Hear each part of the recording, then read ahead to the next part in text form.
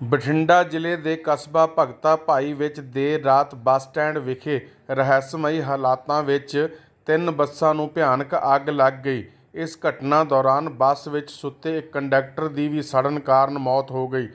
ਥਾਣਾ ਭਗਤਾ ਭਾਈ ਦੇ SHO doctor Darpan Ahluwalia ਨੇ ਦੱਸਿਆ ਕਿ ਅੱਗ ਉੱਪਰ ਕਾਬੂ ਪਾ ਲਿਆ ਗਿਆ ਹੈ ਅਤੇ ਸੜਨ ਵਾਲੀਆਂ ਬੱਸਾਂ ਵਿੱਚ ਦੋ ਬੱਸਾਂ ਨਿਊ ਮਾਲਵਾ ਕੰਪਨੀ ਦੀਆਂ ਹਨ ਅਤੇ ਇੱਕ ਮਿੰਨੀ ਬੱਸ ਸ਼ਾਮਲ ਹੈ। ਫਾਇਰ ਬ੍ਰਿਗੇਡ ਦੀਆਂ ਟੀਮਾਂ ਨੇ ਮੌਕੇ ਤੇ ਪੁੱਜ ਕੇ ਜਿੱਥੇ ਅੱਗ ਤੇ ਕਾਬੂ ਪਾਇਆ, ਉੱਥੇ ਹੀ ਅੱਡੇ ਵਿੱਚ ਖੜੀਆਂ ਹੋਰ ਬੱਸਾਂ ਨੂੰ ਵੀ ਅੱਗ ਦੀ ਚਪੇਟ ਤੋਂ ਬਚਾਇਆ। ਉਹਨਾਂ ਕਿਹਾ ਕਿ ਪੁਲਿਸ ਵੱਲੋਂ ਮਾਮਲੇ ਦੀ ਗੰਭੀਰਤਾ ਨਾਲ ਜਾਂਚ ਕੀਤੀ ਜਾ ਰਹੀ ਹੈ ਤੇ ਪਤਾ ਲਗਾਉਣ ਦੀ ਕੋਸ਼ਿਸ਼ ਕੀਤੀ ਜਾ ਰਹੀ ਹੈ ਕਿ ਅੱਗ ਲੱਗਣ ਦੇ ਅਸਲ ਕਾਰਨ ਕੀ ਹਨ।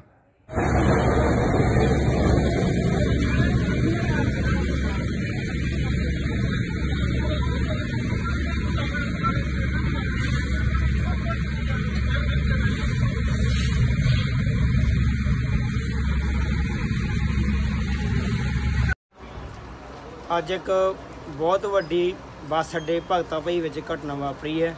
ਸਾਡੀਆਂ ਦੋ ਬੱਸਾਂ ਨਿਊ ਮਾਲਵਾ ਪੁੱਚੋ ਮੰਡੀ ਦੀਆਂ ਬੱਸਾਂ ਹਨ। ਅੱਜ ਕੱਲ੍ਹ ਹੀ ਬੱਸਾਂ ਨਵੀਆਂ ਆਈਆਂ ਸੀ। ਅੱਜ ਸਵੇਰੇ ਹੀ ਇਹਨਾਂ ਨੇ ਇੱਕ ਦੋ ਦੋ ਗੇੜੇ ਲਾ ਕੇ ਇੱਥੇ ਹੀ ਖੜਾਈਆਂ ਸਾ- ਸਾਨੂੰ। ਦੁੱਖ ਨਾਲ ਦੱਸਿਆ ਜਾਂਦਾ ਵੀ ਸਾਡਾ ਕਨੈਕਟਰ ਗੁਰੂਦੇਵ, ਜੋ ਕਿ ਬੱਸ ਵਿੱਚ ਪਿਆ ਸੀ, ਉਹ ਮੱਚ ਕੇ ਮੱਚ ਕੇ ਉਹਦੀ ਉਹਦੀ ਡੈਥ ਹੋ ਚੁੱਕੀ ਹੈ, ਮੌਤ ਹੋ ਚੁੱਕੀ ਹੈ।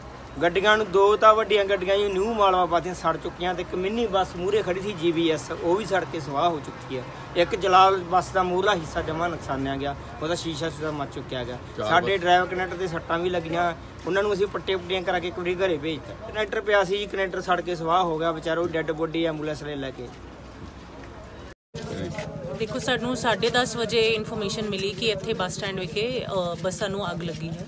ਇੱਥੇ ਦੋ ਬੱਸਾਂ ਨਿਊ ਮਾਲਵਾ ਦੀ ਨੂੰ ਅੱਗ ਲੱਗੀ ਹੈਗੀ ਆ। ਅੱਗ ਅੰਡਰ ਕੰਟਰੋਲ ਹੈਗੀ ਹੈ। ਫਾਇਰ ਟੈਂਡਰ ਮੰਗਾ ਲਏ ਗਏ ਸੀ। ਮੌਕੇ ਤੇ ਤੇ ਸਾਡੀ ਪਬਲਿਕ ਨੇ ਵੀ ਕਾਫੀ ਸਾਥ ਦਿੱਤਾ। ਤੇ ਹੁਣ ਇੱਕ ਇਹਦੇ 'ਚ ਇੱਕ ਇਹਨਾਂ ਦੇ ਮੁਲਾਜ਼ਮ ਦੀ ਬੱਸ ਵਾਲਿਆਂ ਦੀ ਇੱਕ ਲਾਸ਼ ਮਿਲੀ ਸੀ, ਜਿਹਨੂੰ ਹੁਣ ਅਸੀਂ ਮੋਰਚਰੀ ਰੱਖਤਾ ਹੈ।